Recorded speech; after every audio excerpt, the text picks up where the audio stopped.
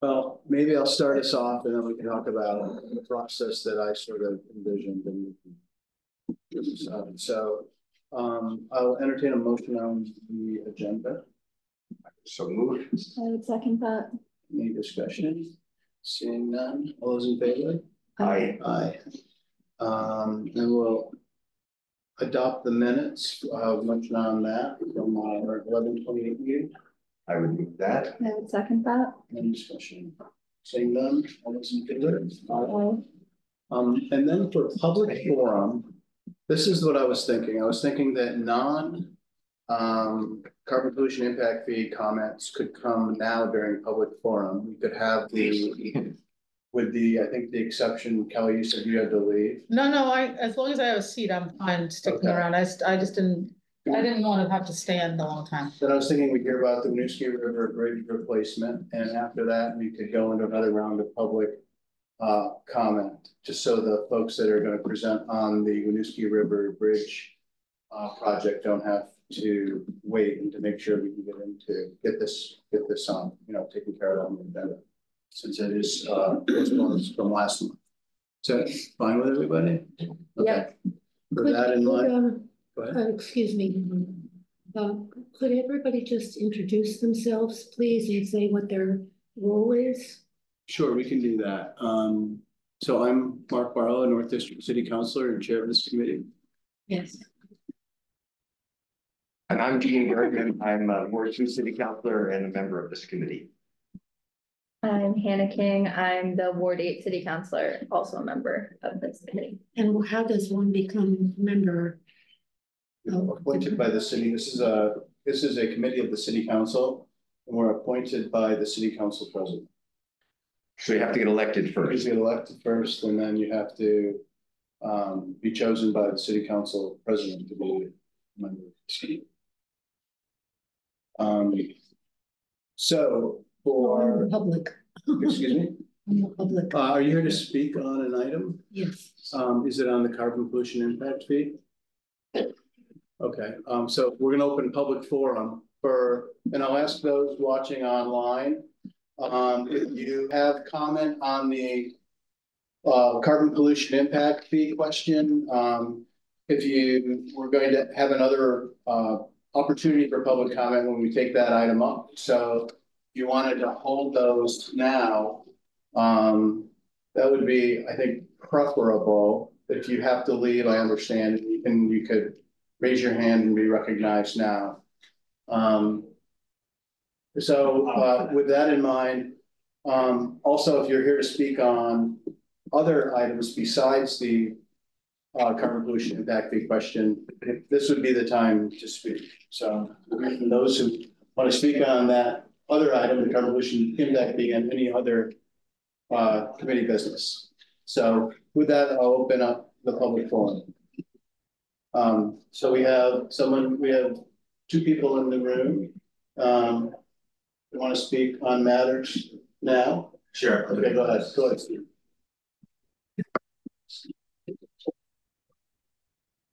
Steve, good time. Is there, where's the camera? Over here, Steve. I'm a resident of former Public Works Director and City Engineer. Uh, tonight, you've got a proposal before you to put an item to the voters. Doesn't say when, but the idea being to update something the voters did several years ago. And I think, um, I think we've learned a lot, even the last couple, three years, and I believe there's a consensus, if not a unanimous opinion of the city council right now. It's not just fossil fuels that are the issue, it's carbon-based fuels are the issue. I think the whole discussion around the steam pipe and the resolution came out of that. Made it pretty clear that the city really needs to look at carbon, not just fossil fuels. And the resolution that I think you're gonna look at tonight to put this on the ballot is trying to update that and bring the city to a point where we're looking at carbon fuels and not passing an ordinance that only deals with certain fossil fuels, but will allow us to deal with everything. I think it's a good idea, especially since we haven't put the carbon impact fee into place yet. And I- like I said, why not take a little bit more time and do it right? I think there's other ways to do it also, but if the city is set that that's the way it's gonna do things, at least let's get it all in there and out there, and I think we all learned a lot from the steam pipe discussion. That uh it's really carbon and CO two that we have to look at and not just fossil fuels, so I would encourage you to. Take the time, if it can't get on the agenda, I got the voters in March. I think someone is, that there may be two other opportunities for the voters to do something before town meeting day. Sorry, after town meeting day for other issues, so it isn't like it has to go on.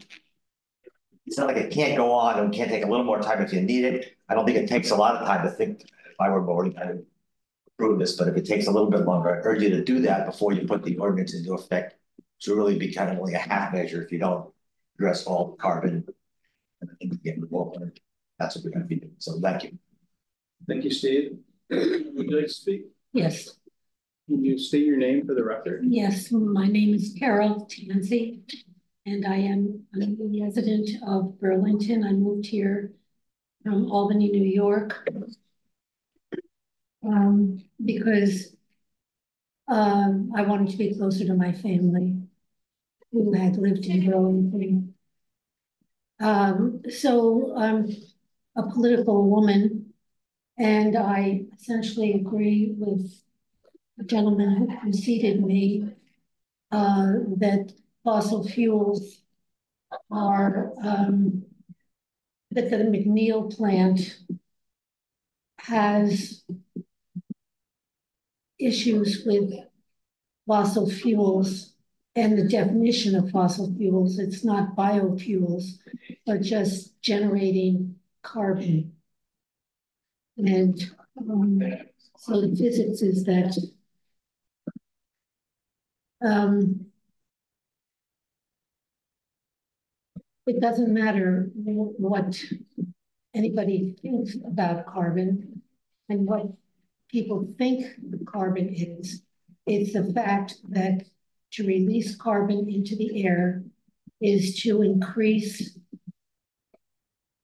climate change and climate crisis.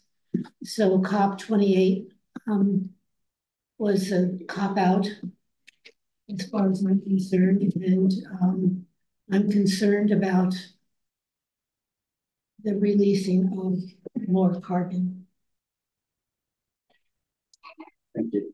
and the way the air and the weather has been impacted.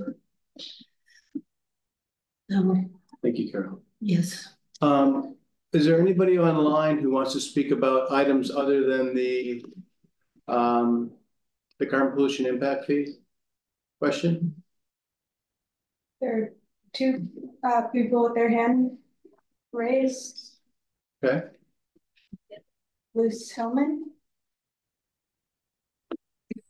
Lisa, Luce Hillman. Can you hear me? Hillman's, Yes. Hillman, go ahead. Okay, hi, Luce Hillman. I'm with University of Vermont, and I do want to speak on the. Go ahead, car- Luz. Hang on. Sorry, can you hear me? No. Luz, can you? Okay, sorry. There you are. Luce, we can hear you online. I think they're having a hard time in the room. Okay, what is, do you know, Laura, what I need to do to change the setting? I don't think that? it's you. They just need to change a setting or Okay, enable something. Go ahead, Luz. okay, can you hear me now? Yeah. Okay, hi, I want to speak about the carbon impact fee, but of course, like everybody probably, I have a seven PM board meeting um, in another town, so I just, uh, I don't know if you're gonna be at that point by that time. We will be trying to wrap by six today, so if, if you wanted to hold, there'd be an op- opportunity and I'm guessing, I will hold, thank you. okay, great. We'll come back to you. Anyone else? Sarah, you should be allowed to unmute. Hi, um, can you hear me? Hi, Sarah, go ahead. Yes, we can. Hey, um, I do want to just super briefly um ask the councilors present to vote um in favor of adding the climate pollution impact fee to the ballot. Um, that'll be all. Thanks. Thank you, Sarah. And then Gary, Gary? Yes, like, like loose, I have a five thirty, but I can wait until then if that's okay. Okay, very good. Um, and is there anyone else?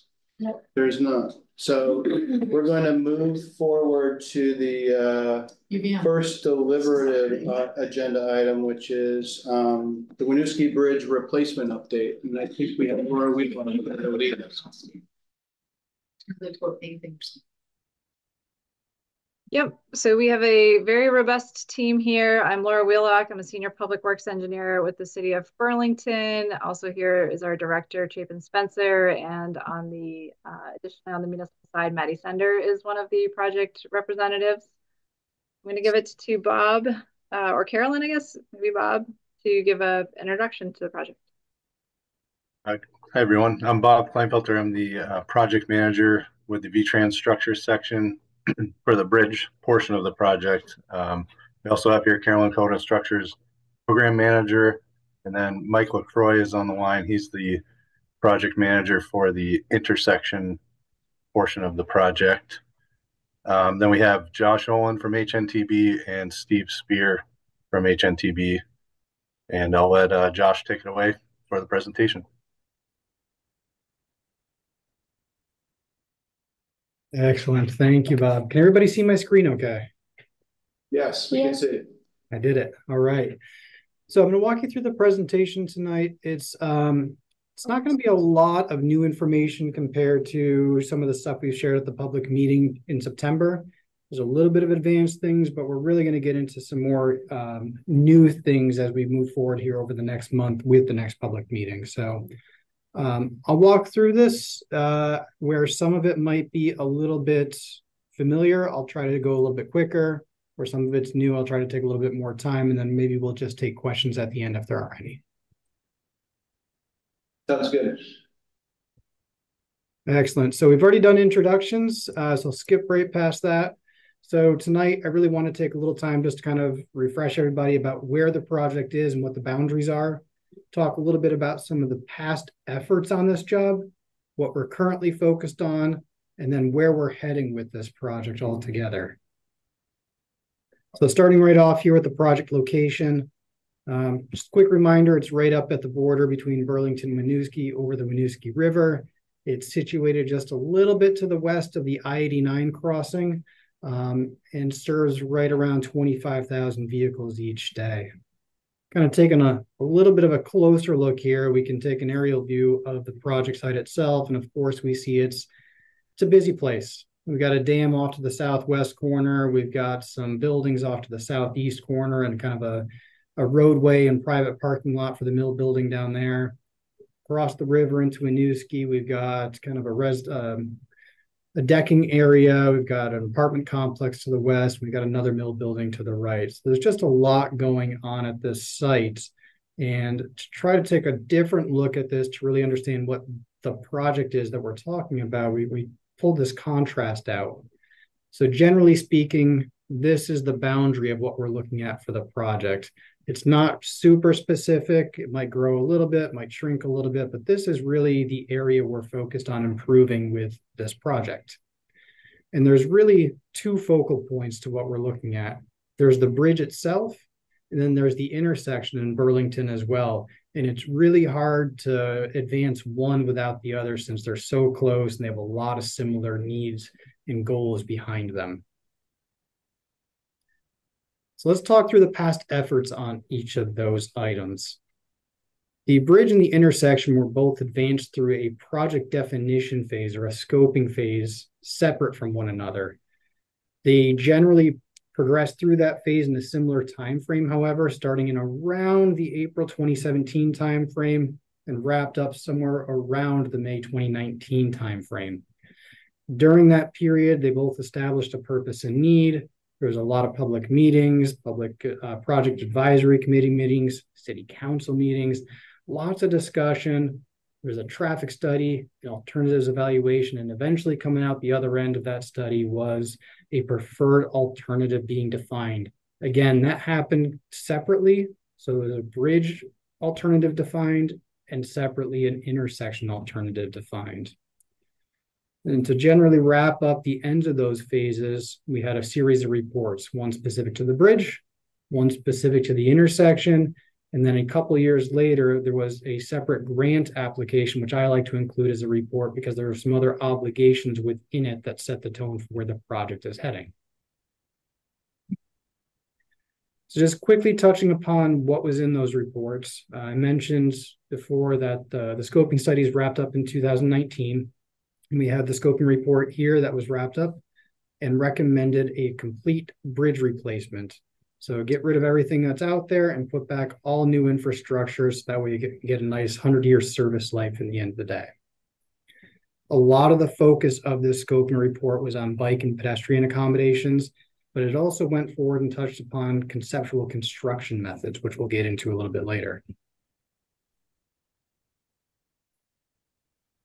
That with, with that complete replacement came with it a recommended geometry for the bridge. Here on the right side of the screen, we're looking at the existing bridge on the top and the proposed bridge on the bottom.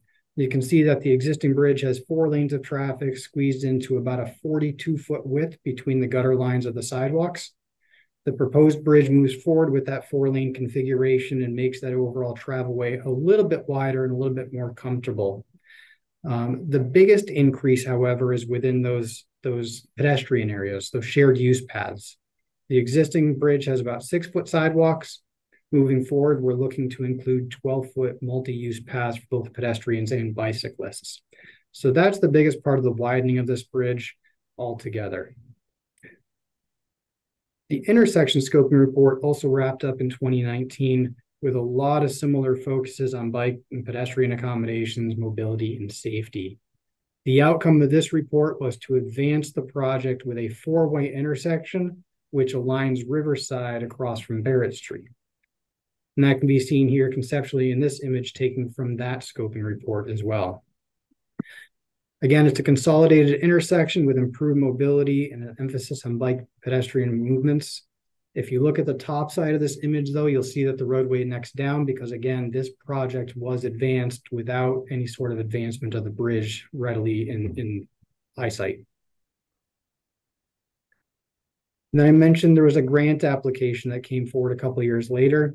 Within this grant application, kind of in return for receiving additional federal funds, there was this obligation to improve safety on the bridge, address bike and pedestrian accommodations, complement the natural and cultural environment, and really at the end of the day, provide an appealing bridge. So that's why I say I treat this almost as kind of a separate report because there are some obligations that drive the direction of this project. So all of that happened in the past we had a lot of studying, a lot of outreach that ended up resulting in specific recommendations and preferred alternatives being defined. So now here we are moving forward, and we're looking at really stitching together those two projects that were advanced separately. We've got the bridge and the intersection, and we want to make them actually function as one kind of altogether holistic project. So that's the focus of our efforts at the moment. We are now in this project design phase or phase B of a typical development project uh, process. And usually when we get into project design, we're looking at all the things you see here on the right. But really at the moment, we are heavily focused on just these top four, really refining that preferred alternative, working through some of the preliminary design, heavy focus on traffic control, just given the volume of traffic and pedestrians at this site, and starting to work through some of the right-of-way process. So what does this all look like? Well, to refine our preferred alternative, really what we need to start doing is get more outreach. And that's what we've been doing. We've had some, some public meetings, we've gone to different events, we've had some stakeholder outreach, property owner meetings, initial utility meetings, and environmental coordination. We're trying to take as much information as we can gather to refine that alternative. And some of these little uh, little bubbles you see on the side are just some of the things we've been hearing from different people we talk to, whether it's bike ped safety or construction costs or schedule or aesthetics. It's all different comments we're collecting, reviewing, and seeing how it might continue to shape the project. We are working through preliminary design too, as I mentioned. The, the scoping report came out with some groundwork of what we want to advance the project with. But since that time, we've been able to collect ground survey and actually start putting real numbers and real engineering behind those concepts that we're moving forward. A big part of what we're doing as well is reviewing constructability. I mentioned there's a lot going on at that site. There's a lot of constraints. We're trying to figure out the best methods to actually construct this bridge and, and really secure the environmental permits and right of way to do so.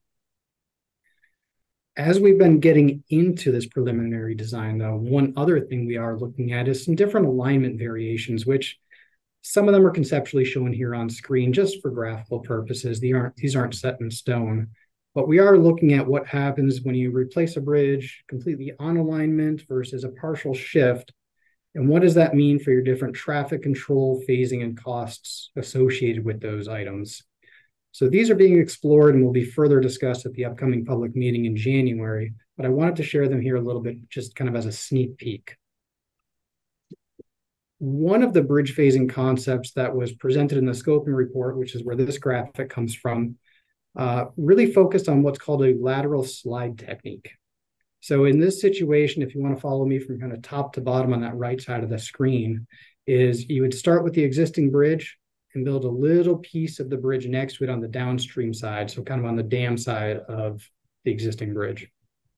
You'd set that little piece of the bridge in place, you transfer utilities, and then allow pedestrians and bicyclists to use this new portion of the bridge.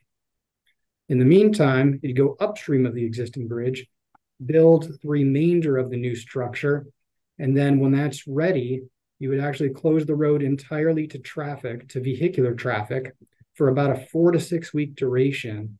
You'd then demolish the existing bridge, slide that new portion of the uh, the new bridge into place, merge the two halves, and then open it back up to traffic.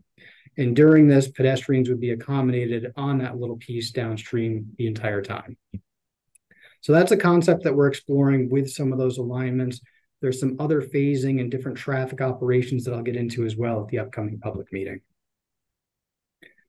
But traffic control definitely isn't something we're taking lightly. I mentioned there's 25,000 vehicles a day roughly. There's also about 300 pedestrians a day roughly. In looking at traffic control, we understand there's an absolute need to balance not just the impact of the traveling public, but also the contractor working on site and all their laborers. They need to have a safe and sufficient construction site to be able to perform their work. So as we go through this, we very much believe there's going to be a need to utilize a combination of temporary lane closures for very specific short-term activities, as well as perhaps that temporary bridge closure and that lateral slide technique that we talked about just a second ago. With the maintenance of traffic, of course, we are trying to figure out exactly what we have for the different crossings over the Winooski River in the area. How much traffic do they currently take? How much more could they absorb if a bridge were to be closed? and we're doing a, kind of an origin destination model to try to it's, it's somewhat of a sensitivity analysis to figure out where those new vehicles would all of a sudden go if the bridge was closed. As far as a temporary detour, the shortest and seemingly most logical one is what we're showing here on screen. Of course, this isn't just something that we're just drawing a line on paper and wiping our hands of it and walking away we understand that when you take 25,000 vehicles and put them onto these already very busy roads and intersections, there's going to be some other improvements and needs that have to happen in order to make any sort of detour of that magnitude successful. So there's a lot of different analyses going into the different detour, the different intersections and legs of this detour that you see here to understand if we need to make improvements for the short-term closure. And once again, I want to reiterate that all pedestrians are maintained on site at the project during all times. And then finally, our other current focus right now is the right-of-way process. So we are going through and doing the deed research and the boundary mapping. We have met with a couple of property owners. We will continue to do that over the course of the spring as we start to refine what our impacts are, especially with the intersection. Once we get through that, we'll get into the appraisals and then ultimately into some offers and negotiations to secure the space to be able to construct this project. Which kind of brings us into future efforts. I'm already talking about things we're doing in the spring. So our, our future efforts will really focus on the bottom half of that list that I flashed on screen a while ago. So utility relocation, environmental permitting, and then really the contract development for when a contractor gets on board. So as far as utility relocation goes, uh, we've got a lot of exploration to, to go forward with. There's a lot of subsurface utilities out there. We're still mapping them, still trying to identify where they all are, what's abandoned, how deep are they, how many conduits. So we have some efforts happening now to pop manholes.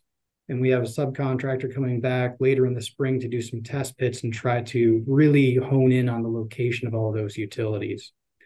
That'll help us identify conflicts and reduce risk for the contractor going forward as they really move forward with their operations. Um, utility agreements will then be made as well.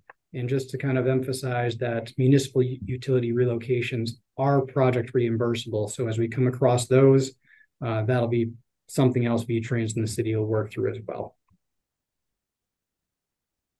Then environmental permitting, um, this is something that's going to be an ongoing process over the coming year, year plus, is to really figure out exactly what we can do on site. So right now we're focused on trying to identify construction methods and impacts that will then transition into discussions with the permitting agencies to identify work windows and allowances and really come up with commitments. Um, the historic process or section 106, if you might have heard that, that's going to be a big focal point with different um, different outreach and coordination and input from the public, uh, as well as different uh, different organizations within Burlington and Winooski. This is a historic bridge. There's an adjacent historic district out there. There's numerous historic properties. So it's a very sensitive area in terms of the cultural aspect of the project. And we're going to be marching forward with some very specific regulations around that too. And one of the next big things as well as we kind of get past defining the project is starting to build out the, the contract for this project. And we're using a, a construction method called design build contracting, where our team is going to take the design to a certain point where we can define what we believe is the footprint of the project, the impacts, and really kind of a design criteria, a, a shall and should type of situation where we tell a contractor what they need to do. Once we get to that point, the contractor and their designer kind of take the design over the finish line and put the finishing touches on to really meet the needs of the contractor and their specific tools and means and methods to provide a betterment to the project, lower cost, faster schedule, and more innovation. So why use design build contracting? Like I kind of just hinted at it a little bit, but it, it really promotes innovation. It allows the final design team and the contractor to put their heads together and really use the tools at their fingertip that they're comfortable with to push that project forward. Should improve both design and construction efficiencies, reduce cost, and reduce schedule. So just for a quick comparison's sake, a traditional design build project, which is, I'll say 95% of what VTrans does, puts VTrans kind of uh, under the scope of doing all these things on the left with the contractor just doing construction. And you can see down in my little little graphic there, contracting happens very late in the development process. With a design build type of contracting, it sheds some of that effort that VTrans normally would do onto the contractor and pushes some of the risk with it. So all the final design and permitting goes to the contractor, and then a lot of the utility coordination and public outreach ends up kind of blending across the two it allows us to pull that contracting time period forward and get the contractor on site earlier. So I get the question of, well, what does this mean? Why are you telling me this? It's really because we are trying not to fully define and detail every single aspect of this project as we march forward. What we are trying to do is put our arms around what the necessary boundaries and guides and shalls and shoulds need to be on this project to tell the contractor what they need to adhere to, but allow them the flexibility to still come in and provide some innovation and cost and schedule efficiencies for the betterment of the project. But of course, with every project, the checks and balances with VTrans will be maintained. So we will still be guaranteed to have a product we're all happy with at the end of the day.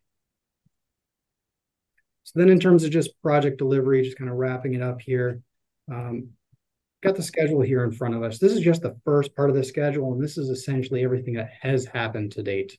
So we already talked through the project have starting off in 2017 and really kind of having that definition of what the project needs to be by the middle of 2019. A couple of years went by as we tried to get some money for the project, and then a raise grant application happened in 2022.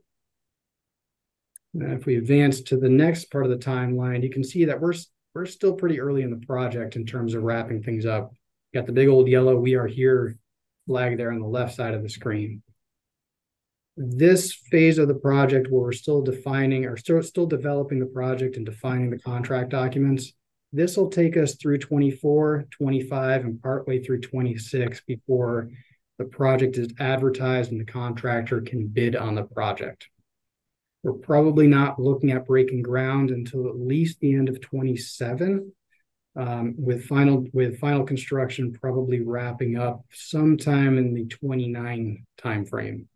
Final site restoration might even linger into the 2030 timeframe, just depending on impacts, park restoration, and some of the details we have yet to figure out. In terms of project costs, uh, there are two buckets of money floating out there. There's the intersection funding and there's the bridge funding. Right. so they are two separate buckets of money, even though we are pushing these projects forward as one project. The bridge itself received that raise grant of 24.8 million. That project is being split with 80% federal funding, 10% state, and 5% each to Burlington and Winooski. The intersection is 100% federally funded. The overall project with construction, design, oversight, right of way, everything all together, the entire project is slated to be roughly 60 to 8 million dollars. And with that, I will open it up to questions. Uh, thank you, Josh. Uh, questions from the committee? Uh, yeah, so on uh, May second of this year, I sent to uh, DPW um, a list of questions, and I don't want to go through all of them. I know that what Laura had told me was that these were going to be integrated into uh, documents that were going to be shared. So I'm, and these these related to the intersection, not to the um, to the bridge itself. Um, so I am interested in knowing how where they are now in this uh, in this process, and if you know, and I can get this subsequent to this meeting if that's easier. That's that's fine. But there was a, a bunch of detail. Uh, the email was sent to Chapin actually, and then we had a couple of things back and forth. But is it was in advance of a um, a, a TOOP meeting. So there is that. And then one comment about the bridge, which I had not focused on yet, but there is a real question about the safety of there being a shared use path over the bridge with both pedestrians and bicyclists. And, you know, that being really problematic in the constrained or confined space. One thing on Riverside Avenue, I use it on Riverside Avenue for both biking and when I run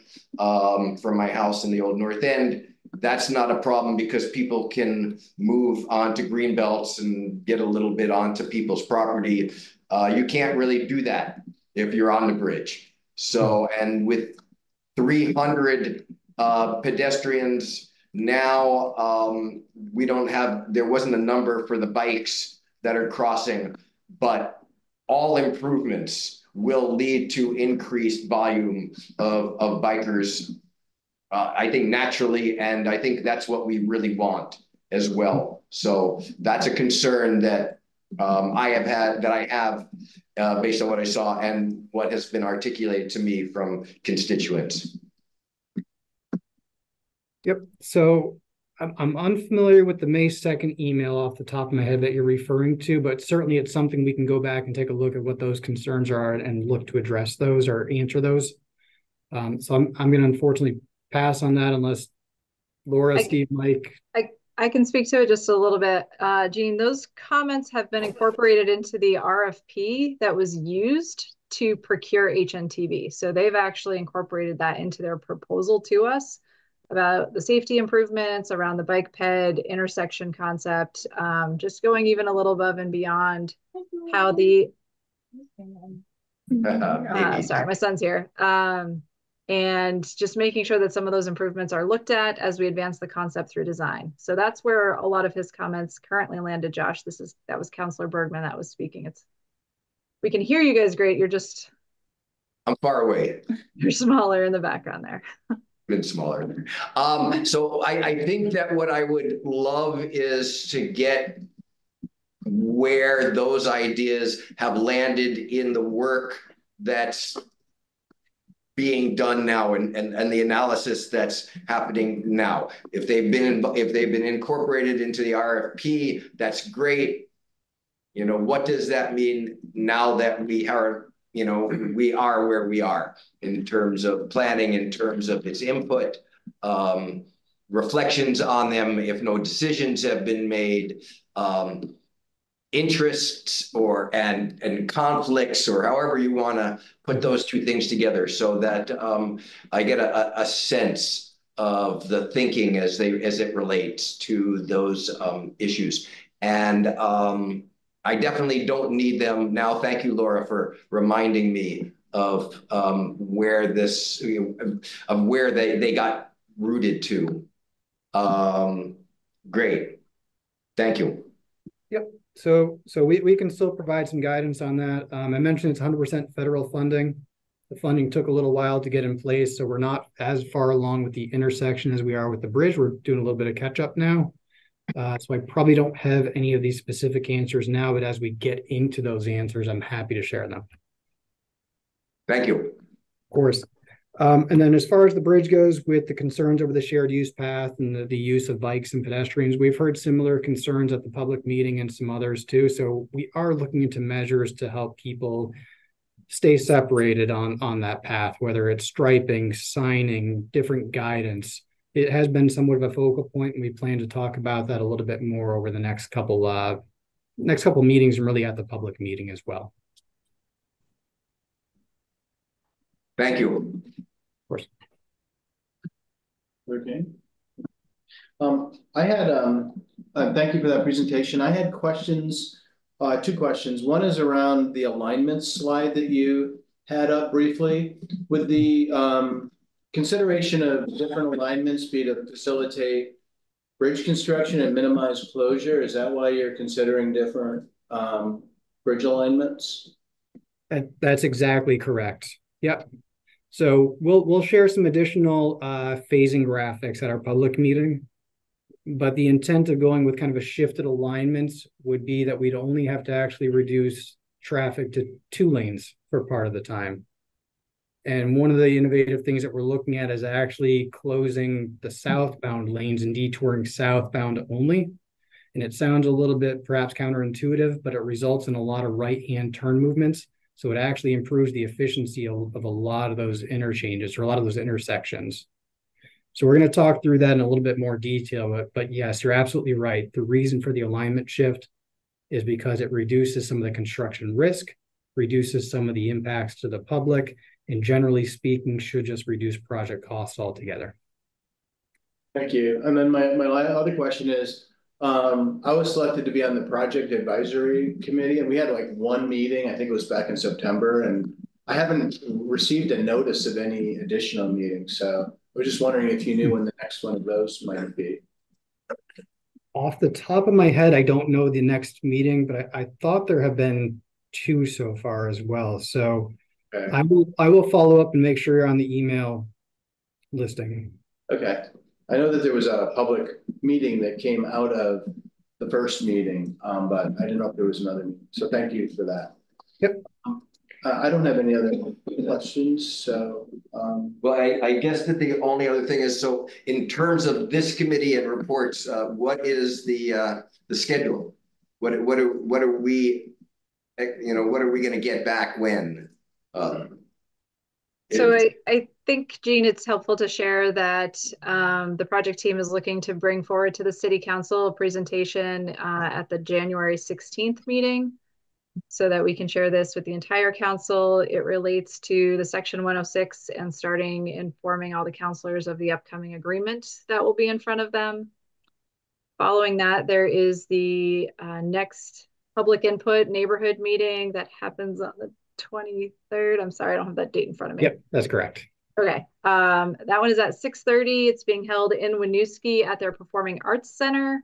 we did look strongly for a location uh, proximate in Burlington, and we just didn't feel that there was any facilities large enough to handle what we anticipate for a turnout. So it's a hybrid meeting um, for this time, and then we will talk with our PAC and ensure that uh, Councilor Barlow is also there about a location for future meetings.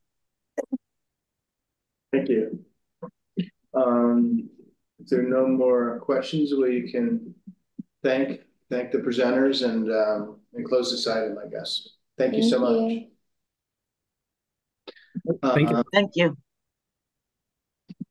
And, uh, and we'll move on to our next item, which is the, uh, carbon pollution impact fee item. And as promised, uh, at the beginning of the meeting, we'll have another public comment, uh, section specific to this item that will, will begin now. Um, and what I will say, I'm not sure how long this is gonna go, but we may have to, if it goes to the ten of six timeframe, we'll probably have to end public comment, so be advised of that ahead of time, um, and, and defer to our next meeting. I'll also say, if you're not able to speak tonight, we will, we would welcome written comments, which we will include with the meeting record, and I know um, at least one person who's submitted written comments already. And so with that, I'll open the public comment, um, and I'll go back to first, the two speakers from before, I had a, um, a Luce Hillman who was online. Are you still with us, Luce? Okay, Yes, I am. go ahead. Okay, I'm Luce Hillman. I'm Executive Director of Facilities Management at UVM. And uh, I want to say that, you know, UVM is very interested, of course, in reducing our carbon footprint, and we're working hard on our own sustainability plan and energy master plan. And we've been very involved with the ordinance committee on developing the carbon impact fee ordinance the city of Burlington has recently passed. So this came a little bit as a surprise that it's being changed when we haven't had the opportunity to implement it. Uh, we, you know, we noticed the twenty-five thousand square foot building size instead of fifty thousand square foot. And also in the ordinance, fifty percent of the payers' fees could be used on their own property to help reduce their carbon footprint, and that seems to be removed in this amendment. Also, um, the, I want to say that the uh, state of Vermont is still working on the clean heat standard, and I'm on the technical advisory committee, and we are working very hard on that standard, which will also impact lower and middle income people and help them weatherize and do other improvements to their home.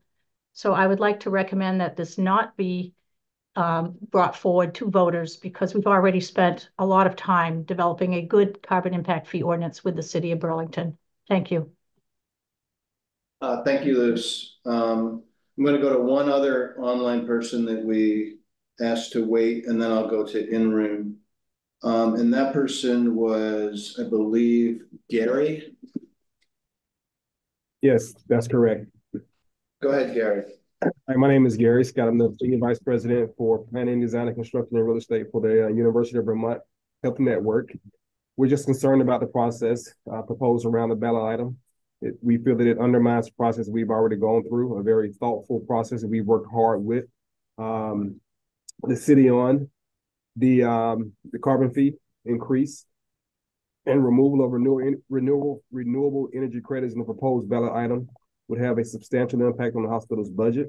But we can at least afford it at this time. It will increase the cost of patient care to our patients in the, in the state of Vermont, which we feel is a, a huge negative outcome.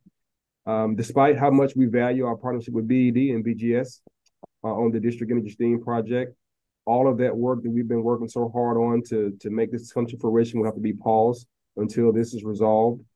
Finally, advancing the ballot item would almost certainly prohibit our ability to expand our physical hospital in the city of Burlington in order to meet the healthcare needs of our community, which means that there would be little to no avenue for partnering with the city on developing renewable energy sources, sources which would seem to be the opposite of the goal of moving towards a net zero. We ask that the, um, this committee not advance this proposal at this time. Thank you. Thank you, Gary. Um, I'm gonna go in room now. I know Kelly's been Yeah. waiting patiently. Um, Kelly Devine, I'm the Executive Director of the Burlington Business Association. Um, because I know we don't want to take a lot of time, I just want to ditto everything both of those people said, because that was really helpful about process and about uh, giving this uh, piece a chance to show that it can be impactful. Um, this is a, the existing um, carbon impact fee ordinance requires some kind of action to um, see the resulting reduction in, in carbon output and um, and there's potential pen penalties for you know, not going the most efficient route. You don't know if those things are going to have real impact until you have a chance to see them operating within the community where they're going to, where they're being implemented. Uh, Burlington, I often say Burlington, at least three of Burlington's borders are porous. One of us, one of them is fairly fixed, the lake. And I have increasing concerns and supportive data around that about uh, small businesses, commercial offices, commercial office tenants moving out of Burlington into South Burlington, uh, into Williston, into Winooski. Part of those decisions have to do with other things that are happening in Burlington that I won't go into, but part of them have to do with um, the cost of being in Burlington. And part of the increased cost of being in Burlington is you know, energy related cost or costs related to energy. These costs will be passed on to tenants because most tenants have what we call a triple net lease, which means you pay uh, a fixed lease price and then uh, other costs on top of it. Uh, while the, um, you know, we, we didn't have any significant concerns with the first phase of it, especially since it focused on build such large buildings. I did think that process had a lot of good compromise when you start to move down to buildings that are twenty-five thousand square feet, you don't necessarily think of some of your smaller shops or, um, you know, some of the, um, smaller stores we have falling into that category, but they really do if they're part of a larger building because it would apply to the building owner. It really depends. In downtown Bur Burlington, we have a whole bunch of buildings of a variety of sizes. So, um, you know, there seems to be, I think there's some concern that some of our, um, some of our small shops will actually be impacted by this. I'm pretty certain that most of our commercial office space that already isn't in, in the pool will be added to it. And we, um, we have, um, a vacancy rate now that's about one percent above the average, but we have a lot of phantom offices. I think we're going to see, um, a pretty significant reduction in the amount of commercial, uh, office space activity that's in Burlington over the next couple of years. I think a real har harbinger of that is the fact that if you want to attend the DPW commission tomorrow night, you'll see from their recent report out that their number of leases of people that are in garages for five to six day leases has dropped. I think fourfold at least, if not more, since the pandemic. People aren't uh, coming to offices. Many, many, many of our professional uh, office building holders are considering moving out of town. They, they're already moving out of town. They vacated and are still paying rent till their, till their lease expires. Um, we're going to continue to see that trend because for several reasons, including it's part of a national trend of people not necessarily doing five days inside an office anymore. Um, so um, I think anything that puts pressure on that that doesn't seem to be have been vetted the same way the first half of the process is, is something that raises concerns for me. Um, I think we need to slow down on this. Um, as Mr. Goodguy said, and someone I don't often disagree with, I mean, agree with. So that was kind of nice, especially with the Santa hat, very festive. Um, we have other election opportunities in in uh, in 2024 to address this issue. So uh, I'm going to um, ask again that the committee um, consider not advancing this proposal. Thanks. Thank you, Kelly.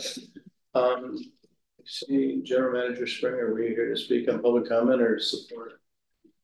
Questions later, buddy. The latter. Okay. Is there anybody that is, uh, yeah. public? Yeah.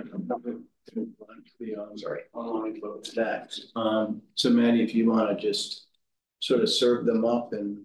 Chris May. Yes. Hello, my name is Chris May. Uh, I'm a volunteer with 350 Vermont, also a parent of a two-year-old daughter. I'm a Burlington resident. I live in Ward 2. Um, asking the committee to please take climate action by passing building decarbonization tonight and letting the voters decide on the March ballot. Um, and also in the spirit of saving time at tonight's meeting, just wanted to share that I'm speaking on behalf of a few other friends from three fifty Vermont's Burlington Node, who are also remotely on this call. Um, Kim Harnung Marcy, Marcy Cass, Andrew Simon, and Brian Forrest, uh, volunteers for the Burlington Node of three fifty Vermont, and also here asking the committee to pass building decarbonization. Thank you. Grace. Nick Percent Percentieri? Percent Pierre. Percentieri? Thank you. Can you hear me? We can, Nick, go ahead. Thank you. Um, as I think was made clear, and as I think a number of the city councilors agreed during the course of some of the prior committee hearings, the ordinance that is on the books now is seriously flawed because it only imposes a carbon impact fee on fossil fuel heating systems, but not on non fossil fuel heating systems that also emit greenhouse gases. So it perversely creates an incentive for using those non fossil fuel systems that emit greenhouse gases, including um, renewable gas, liquid biofuels, and advanced wood heat. Just to give you an example, it's it creates an incentive for if a new home is build built for a new furnace to be installed that runs on renewable gas. This is not what we want to be promoting in Burlington, especially with regard to new buildings, which are low hanging fruit. We know they can be built with sufficient weatherization to allow them to run on electricity. So the only way to fix these perverse incentives is to impose a fee on all systems that emit fossil fuels. And unfortunately, the only way we can do that is by going back out to voters because the charter change says if you want to impose a fee, it has to be approved by voters. It's really too bad we didn't get this right the first time. When I saw this ballot item, I was horrified. And this is actually what turned me into a local activist. You know, we we pounded the pavement to try to defeat the ballot, the first ballot measure. Of course, we had no luck. Um, so I really think you need to fix this. And um, there was some language written in that in an attempt to uh, blunt the possibility of these perverse incentives being realized, saying someone would have to cert- submit a certification if they rely on something other than electricity or or solar or geothermal but that certification is really broad and it would uh, include proof that something's economically unduly burdensome. Well, electricity is relatively expensive, so someone could claim that it's it's more electricity is more expensive, so therefore I'm going to put in advanced wood heat. We just don't want this happening. Um, and my last point is all this ballot measure does is give the city council the authority to fix the problems I've identified. It does not change the ordinance in any way. There's going to be plenty of process going forward for everyone to be heard. And as a result of that process, it might be that we agree not to raise the fee or that we don't go down to 25,000 square feet or larger. But we have an urgent issue that needs to be dealt with. Let's put this on the ballot. Thank you. Thank you, Nick. Neil Lunderville? Go ahead, Neil. Uh, hello, Mr. Chair. Can you hear me okay? We can. Thank you. Excellent.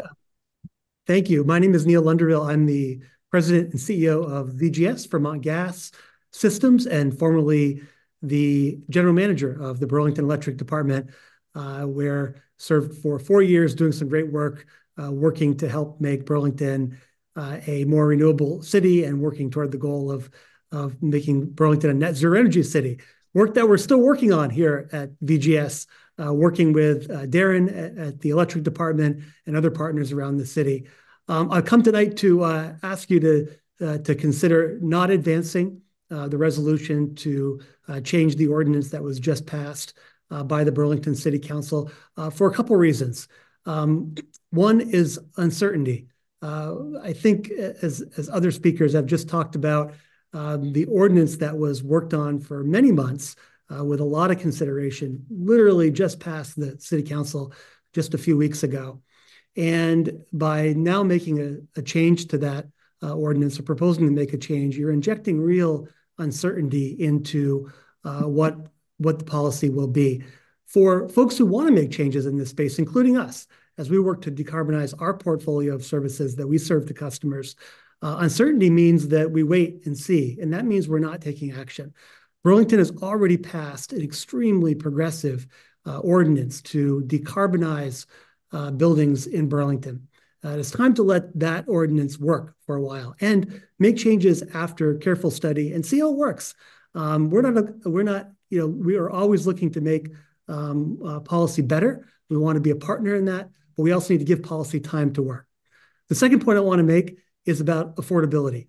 Um, I know uh, you care about this deeply, as do we. We serve 15,000 customers in Burlington.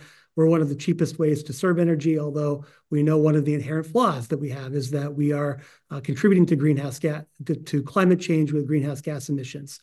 We also need to make sure as we decarbonize, we do so in a way that our customers can afford. And this resolution proposes to increase that carbon impact fee by 57%. Um, we know, because we've heard from our customers, that they are already uh, working hard to manage their cost, and they can't afford anymore, whether um, whether it's uh, energy bills or grocery bills or housing bills, whatever it is. So we're going to be really careful before we're imposing any new cost on them. That's residential customers and business customers alike. The last point I'll make is a point made by a couple other speakers, including Luce and, and Gary, um, is that we have uh, uh, one of the most progressive energy policies in the country in Act 18, the Affordable Heat Act, also known as the Clean Heat Standard. Um, we need to give that that law, which is statewide, applies to all Vermont, uh, time to work. The Public Utility Commission is in the, in the, middle of building a regulatory process around making that work. Um, as Burlington continues to uh, change its, uh, or proposing to change its ordinance, uh, I, I am concerned that Burlington will move at 90 degree angle from where the state is. And again, this creates uncertainty and it creates doubt and it causes people to pause in their actions. We cannot let people pause. We have to keep moving forward in a very aggressive way uh, to beat back climate change. But to do so, we need a stable policy base from which we can work. So I would encourage the committee uh, to not let this, this resolution move forward. Take the time to let Burlington's just passed ordinance work. Uh, VGS will continue to be a, a great partner uh, to the city in those efforts and making sure that our customers say, stay safe and warm in every season. Uh, thanks for the time today. Thank you, Neil. Jack Hanson. Great. Ahead, can you guys hear me? We can. Go ahead.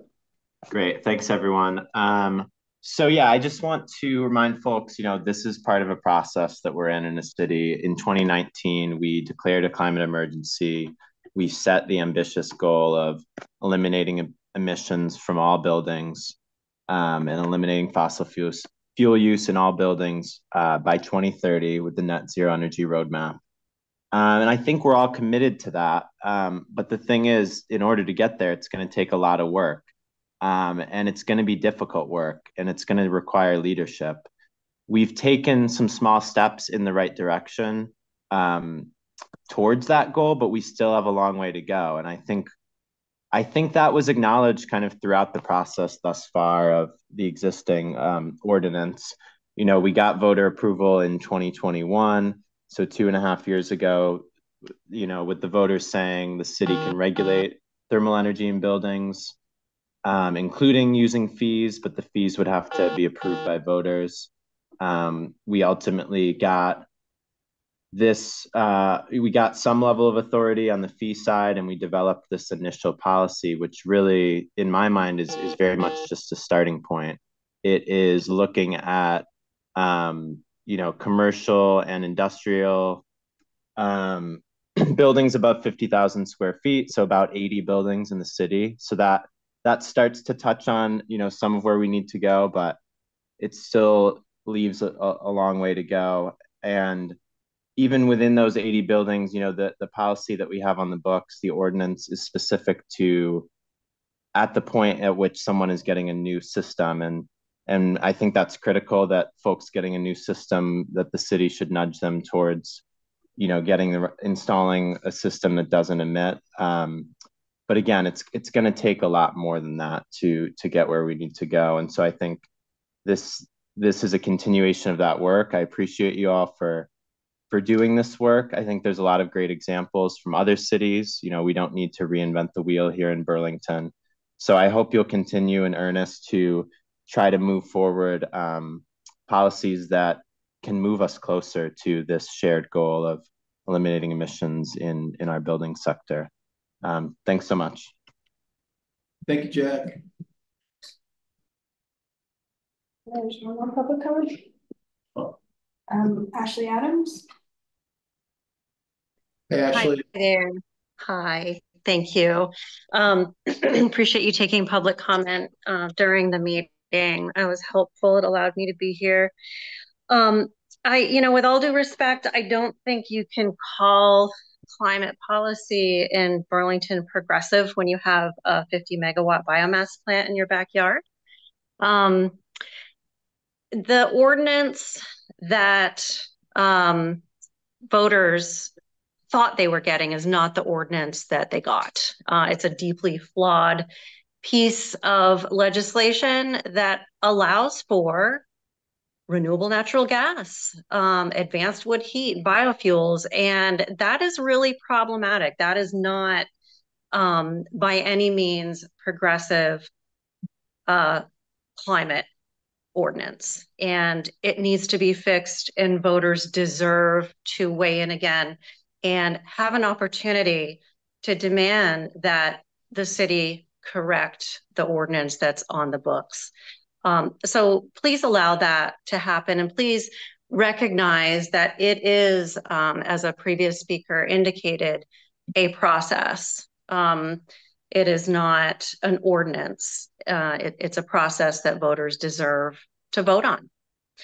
So I appreciate that. Thank you. Thank you, Ashley.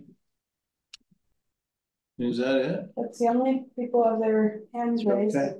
Is there anybody else who's listening online who wishes to speak uh, to this item in uh, public comment? Please raise your hand to be recognized. Nobody? Okay. Then I'm gonna go ahead um, and close public comment. Um, and uh, I guess I'll open it up to the committee to sort of decide on how we want to move forward.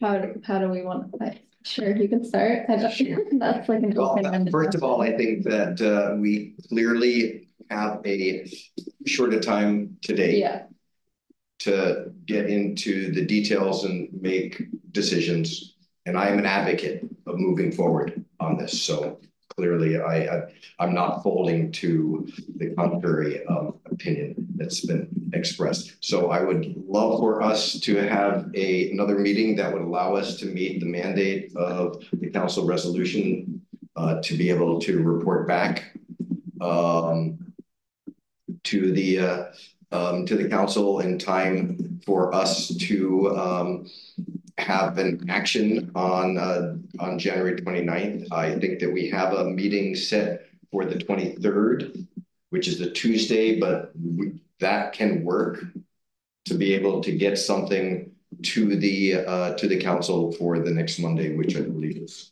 you know, the, the 29th and when we're meeting. So we have a full council meeting on the 23rd. I believe we have a full council meeting on the 29th. When Would you're that saying be- about our meeting here, or TEUC, TEUC on the twenty, The twenty-third, yes, so our meeting on the, TEUC on the twenty-third, correct? yes, so meeting, so us meeting. Um. In time to do that. Now, we're also, it's also meeting on, the council is also meeting. On, on the sixteenth. And perhaps given the, um. The desire to, um, put enough time into this that there is, um, the ability for us to meet the week of January eighth. Um, would seem to be uh, prudent. Um, so that's sort of the, the first, Yeah, I would prefer that, um, if we met the week of the eighth to talk about this. I think I would prefer that as well. that sounds, I prefer that as well too, actually, yeah, I mean. Guys, we all I- agree. To to be able to give us the, the sufficient time to, uh, to do the work that needs to, uh, to be done. So we're talking about trying to find a time, the. I'm Looking at January, the week of the eighth, um. I mean, are there, are there preferred days of the week? Um, and I would ask that of. Maddie and staff as well, Um, both the, the conference room, and for a conference room as well. And we, we might anticipate needing a slightly larger space if one is available. it is booked every day that week. There is availability before a NPA, um, Award five NPA is at six on Thursday. So we could try to do it in an hour and a half or so before as early as, How, how would folks think, feel about going back to Spark Space or one of those other alternative spaces or? I would, I would be okay with that. The ninth is also, which is a Tuesday, this is our traditional meeting, would, uh, and the, um, Sharon Bushor Conference Room was available on Thursday. Oh, wait, I'm looking at the wrong week, hold on. the ninth of, uh, Tuesday, the 9th of January.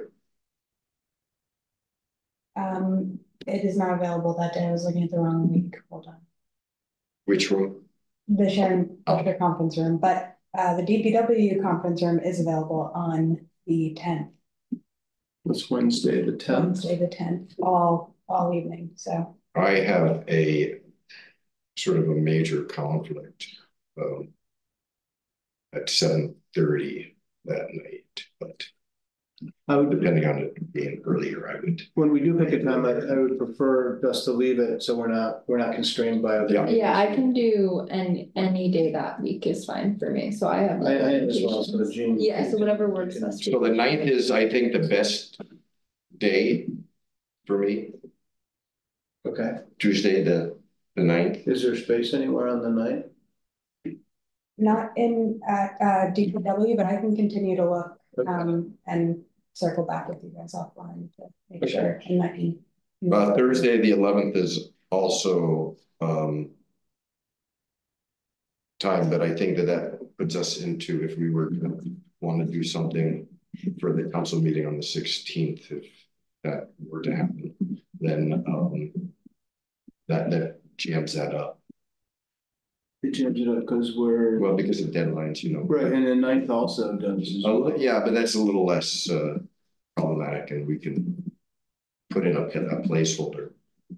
And, and meet that. On the tenth, if need be. And since Oh, the I see. committee and, and since they were posted until right, yeah. Friday, you know, the, the whole, so. Um, so I'm, I'm open to. Yeah. what- Whatever either of you would like to do. So I think the ninth is the, uh. The best day. But what, then let's try to meet on the ninth somewhere to be determined. Um, where, um, what time would you like to meet at our normal five o'clock time? I can do that, I can do earlier. Yeah, anytime works for me. I can do. I can do either as well, so I'll let you guys. Yeah, and if Spark is, uh, I mean, if, if we're looking at a bigger place versus a smaller place. Um. Spark's place is, is good.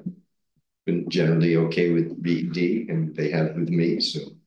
I don't have the access, Yeah. so we'd have to check. Okay. Or, or elsewhere. So we'll say that, um, that's to be determined, but it'll be a special meeting of the TEUC to, uh, A season finale. to do, do with this, uh, to deal with this one issue on that date. Um. Do we want to talk more about, uh, things that we might want to have? Are there anything that we would ask BED for? I mean, I am, I'm interested in understanding the, the, the buildings that are feared to be uh, swept up into this. A listing of that would be quite helpful. Um, I would like in the nicest way possible, and some of you know me to be sharp mouthed, so I'm gonna try not to be sharp mouthed. Kelly and I go back a long ways on these things, so I, I, I'm, I, I, I am, I'm, I'm bothered by the broad swipes that UVMMC gave, and so, um, I would like to actually understand from UVMMC if they're here, exactly what they're talking about when they say that they have to pause, that it's gonna give, uh, let me just pull up The letter? their letter. Uh, okay, not that one, that's UVM's. I think, you know. where is it? Is this the BMC? Yeah, uh. This one that- from- Yeah, I get it, it's from uh, Gary Scott. Uh. Uh, That they have to pause, create, I, I don't understand how it's gonna, how it creates, and so they should explain it in their own words, how it creates uncertainty that they're forced to plan to pause. This is a letter that we got, it's dated December seventeenth. Yeah, yeah, I wanted So, yeah, so I'm, I'm reading from the third paragraph, just to, to be particular. So they make, they make claims that it creates so much uncertainty that they have been forced to pause the work on district heating. Now, this, in my mind, does not create it. I, I respectfully disagree with my friends in the room and those online when it says it does it, because all this does is create an authorization. It does not create any law. It does not change any existing thing that we put into place. It doesn't do any of that. And in fact, does not short circuit the process by which we would get there. So I don't understand how this creates so much uncertainty that all the time that they spent working with BED is now has to be put on hold. And there are a number of other things that they claim that I need verification for. I cannot trust that they most certainly would prohibit their ability to expand in Burlington. I do not understand that and want to understand what they mean by that. You know, um, so, and I, I, they, they probably make a couple of other allegations here to that regard. With regard to the, the things, and I would like, I mean, if this is possible, and I think that there are things that we could get for this next meeting. A listing of the buildings that would be um covered that Kelly expressed concerns about. And to the extent to which those relate to um the heating systems, if we can get details about that, you know, I mean, people's it's really easy to be scared and everybody actually should be quite you know, upset about this. The people in Barre and in Waterbury and in Moretown today are dealing with the uncertainty the, and the fear that is coming from this massive climate disaster that we are all facing. And we are all going to be paying for it, right? We don't avoid those costs. So it would be helpful to understand in more granularity when people say we're scared about added costs, who who's got systems that are being um, uh, that are going to need to be replaced, that are gonna be affected by, by this. And if it can't happen, uh, I mean, I, this is, Can I ask a question more related to that? sure, um, you, it's okay with me. So I think what I'm hearing you saying is that I'm exaggerating how many buildings it would impact. No, Or I'm wanna asking, see- I just want numbers. Yeah, you wanna see evidence of the number of buildings that im- it impacts, but if the number of buildings that it impacts and the number of s- heating systems that impacts are quite small, maybe that's the reality we uncover, then how can this, this measure in any way be equated to the flooding? You- you You're, just- I, you're, you're, a- you're asking for, I, I, I want some baseline data. People have said that this is gonna cause major disruption. I wanna understand. And I- anyway, so I don't wanna get into a debate Right, here, I I given think it that. would be, I think one thing for sure is when we approached the last piece and people were working together. We had a really clear list of the buildings and those were, you know, laid out for everybody before the thing was passed. So And, and we could, we, the- This is, this is part of the uncertainty is not knowing, um, And, and this, this, you know, I mean, again, I, I believe that authorizing and, a- um, a, new way, an additional way, I don't know, the, the words are not coming, the word's not right coming to me, but this, this change does not foreclose that process. But given what I've heard, you know, people, um, I think should, uh, I would like to hear, um, some verification to the claims that, um, that are being made to oppose this. So I would, uh, that, that, so that, that's, that's what I'm looking for in that, because I, I just gotta say that I, like, I think probably virtually every other human being would really like to go slow. Would like to make sure that everything would be able to be vetted out perfectly, so we're absolutely sure that this is things are the, the right thing to do. And that we test everything perfectly before we go anywhere. You know, this is what the human, this what human beings do. I, I, I, I, I believe that that has gotten us to the, the edge of the cliff. And, um, I, I do understand that. I just think it's important to remember that the UVM Medical Center is right on the borderline with South Burlington. It's Uh, easy you to know, avoid I- this by moving a few feet away. I, I, I have, I have seen the effect of economic strikes by people opposed to making changes uh, that need to be made. Um, and they've been fairly drastic, but I, but I, I don't want, I, I'm sorry, I, I don't want to get into that debate now. I'm just saying that from my standpoint, the, um, we do not have the luxury of going as slow as what I hear people asking us to do.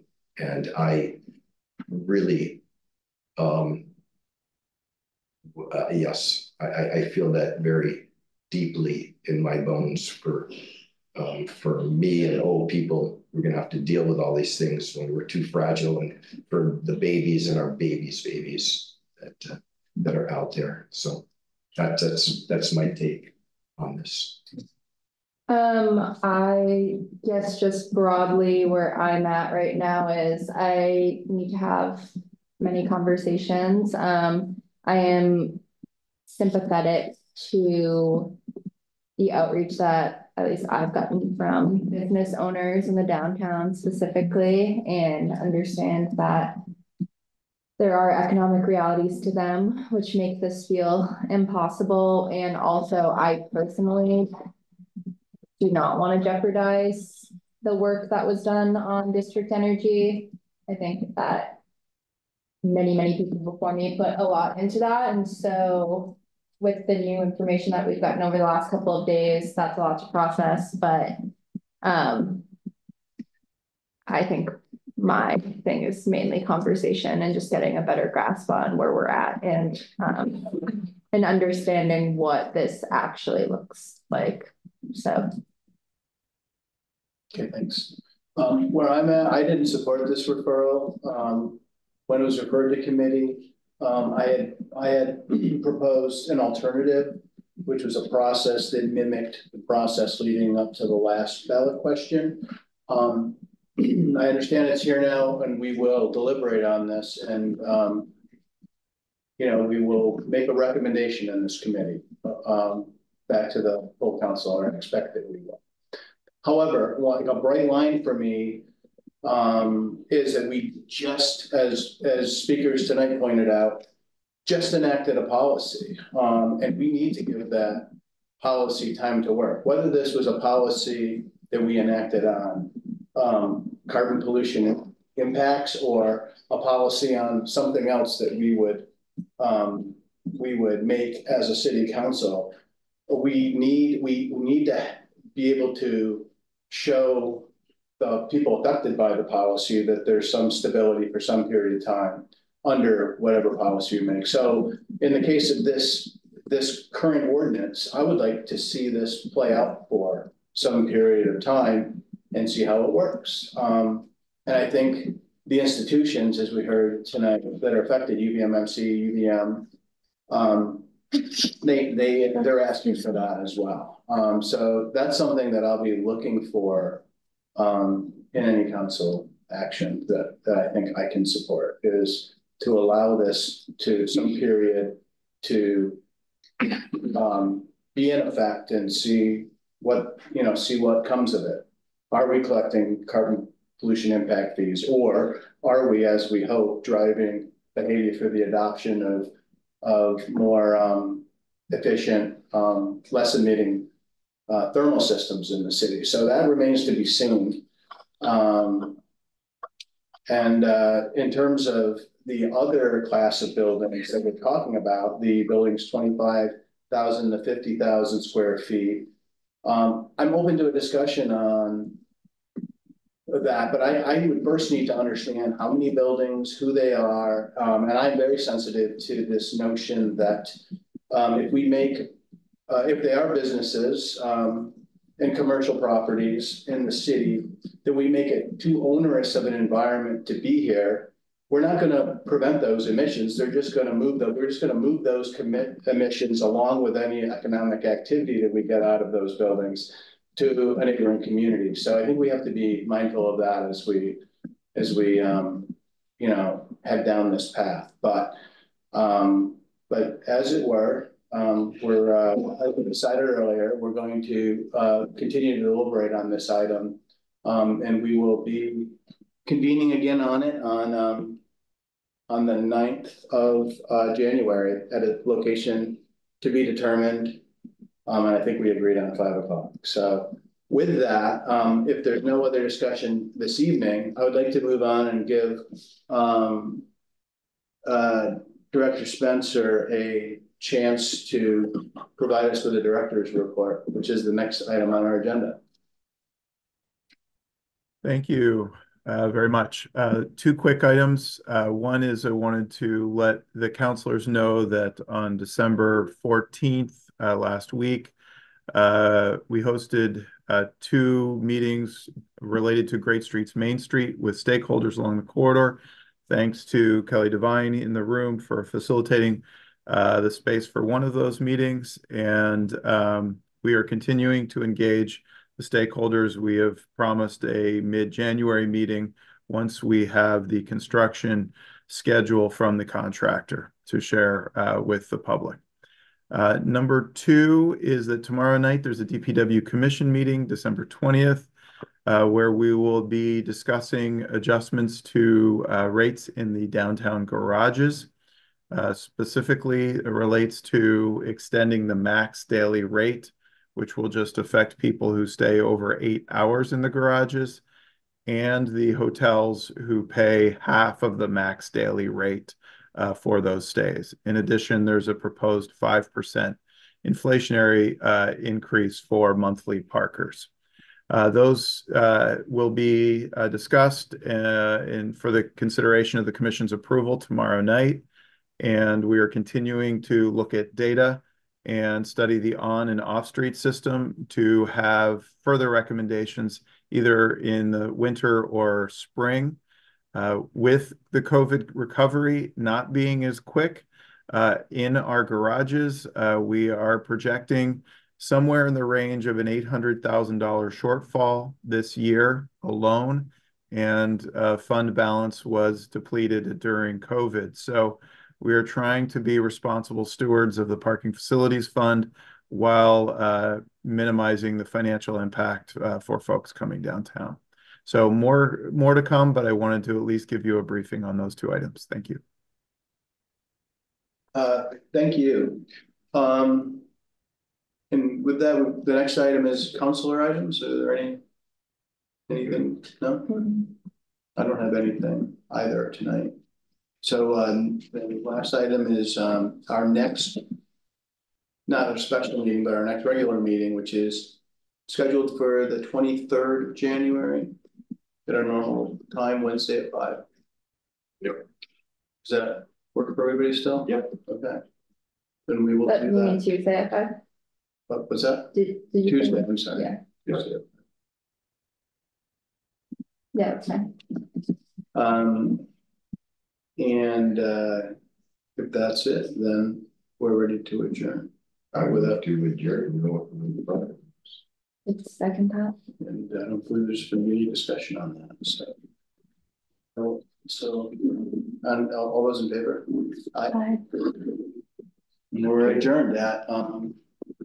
Five. Aye.